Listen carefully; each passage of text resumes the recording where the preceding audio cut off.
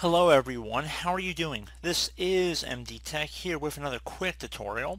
In today's tutorial I'm going to show you guys how to hopefully resolve if you're getting an error that says you might not have permission to use this network resource on your Windows computer.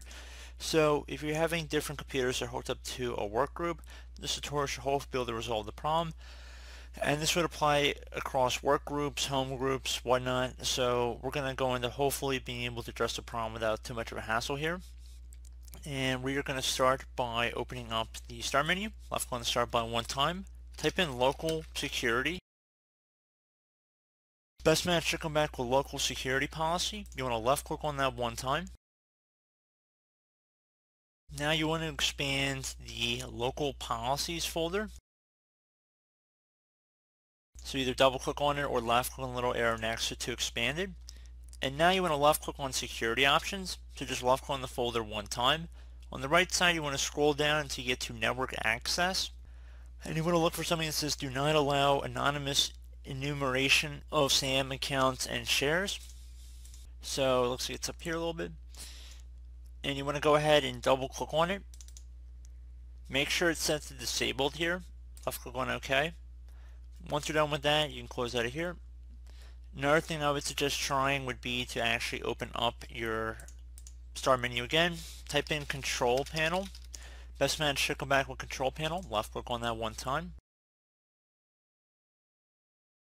Now you want to go say your view by up here to large icons and scroll down until you get to user account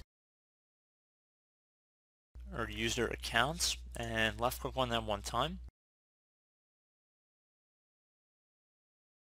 Click on the left side where it says Manage Your Credentials. Left click on Windows Credentials. Expand the Windows Credentials folder. So if you had a Windows credential listener here, you want to just go ahead and left click on it and then select Remove then you go ahead and create a new Windows credential so you're basically just recreating it. So that's another thing I would suggest trying. Also see if your antivirus might be interfering so if you have a really proactive antivirus that includes a firewall built-in protection, see if it's blocking any potential ports or it's perhaps interfering with the connection. You might want to set up an exception for that. So a few different things about how to hopefully address the problem without too much of a hassle. So as always, thank you guys for watching this brief tutorial. Do hope I was able to help you out, and I do look forward to catching you all in the next tutorial. Goodbye.